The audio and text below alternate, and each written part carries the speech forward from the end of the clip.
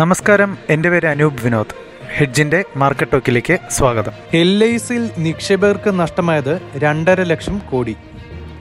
Indian ഓഹരി വിപണിയിലെ game changer ആയിരിക്കുമെന്ന പ്രതീക്ഷയിൽ ഒരു വർഷം മുൻപ് വിപണിയിലെത്തിയ എൽ ഐ സിയുടെ ഐ പി ഒയിൽ നിക്ഷേപിച്ചവർക്കുണ്ടായ നഷ്ടം രണ്ടര ലക്ഷം കോടി രൂപ. രാജ്യം കണ്ട ഏറ്റവും വലിയ ഐ പി ഒ നിക്ഷേപകരുടെ സമ്പത്ത് ചോർത്തുന്നതാണ് കണ്ടത്. കഴിഞ്ഞ വർഷം മെയ് പതിനേഴിന് ലിസ്റ്റ് ചെയ്ത എൽ ഐ സിയുടെ ഇപ്പോഴത്തെ ഓഹരി വില ഇഷ്യൂ വിലയേക്കാൾ നാൽപ്പത് ശതമാനം താഴെയാണ്. തൊള്ളായിരത്തി നാൽപ്പത്തി ഒൻപത് രൂപയായിരുന്നു ഇഷ്യൂ വില. ഒരു വർഷം കൊണ്ട് രണ്ടര ലക്ഷം കോടി രൂപയുടെ ചോർച്ചയാണ് വിപണി മൂല്യത്തിൽ ഉണ്ടായത്. എൽ ഐ സിയുടെ ഓഹരികൾ കഴിഞ്ഞ ഒരു വർഷമായി വിദേശ നിക്ഷേപ സ്ഥാപനങ്ങളും മ്യൂച്വൽ ഫണ്ടുകളും വിറ്റൊഴിയുന്നതാണ് കണ്ടത്. മ്യൂച്വൽ ഫണ്ടുകളുടെ എൽ ഐ സിയിലുള്ള ഓഹരി പങ്കാളിത്തം പൂജ്യം ദശാംശം ആറ് മൂന്ന് ശതമാനം മാത്രമാണ്. വിദേശ നിക്ഷേപ സ്ഥാപനങ്ങൾ പൂജ്യം ദശാംശം പൂജ്യം എട്ട് ശതമാനം ഓഹരികൾ കൈവശം വയ്ക്കുന്നു.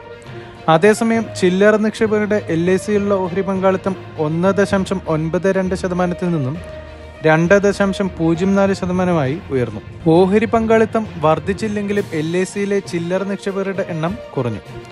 ഐ പി ഒ സമയത്ത് മുപ്പത്തിയെട്ട് ദശാംശം ഒൻപത് ലക്ഷം ചില്ലറ നിക്ഷേപകരുടെ കൈവശം എൽ ഐ സി ഓഹരികൾ ഉണ്ടായിരുന്നെങ്കിൽ ഒരു വർഷം കൊണ്ട് അത് മുപ്പത്തിമൂന്ന് ലക്ഷമായി കുറഞ്ഞു. അതേസമയം ചെറുകിട നിക്ഷേപകരുടെ എൽ ഐ സിയുള്ള ഓഹരി പങ്കാളിത്തം വർദ്ധിച്ചത് പല നിക്ഷേപകരും താഴ്ന്ന വിലയിൽ എൽ ഐ സിയുടെ ഓഹരികൾ വാങ്ങി ശരാശരി നിക്ഷേപ ചെലവ് കുറച്ചുവെന്നാണ് സൂചിപ്പിക്കുന്നത്. നിഫ്റ്റി പതിനെണ്ണായിരത്തി ഇരുന്നൂറിന് താഴെ.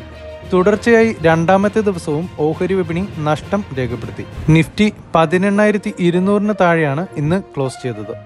നിഫ്റ്റി നൂറ്റിനാല് പോയിന്റ് നഷ്ടത്തോടെ പതിനെണ്ണായിരത്തി ഒരുന്നൂറ്റി എൺപത്തി ഒന്നിലും സെൻസെക്സ് മുന്നൂറ്റി എഴുപത്തി ഒന്ന് പോയിന്റ് ഇടിഞ്ഞ് അറുപത്തി ഒരായിരത്തി അഞ്ഞൂറ്റി അറുപതിലുമാണ് വ്യാപാരം അവസാനിപ്പിച്ചത്.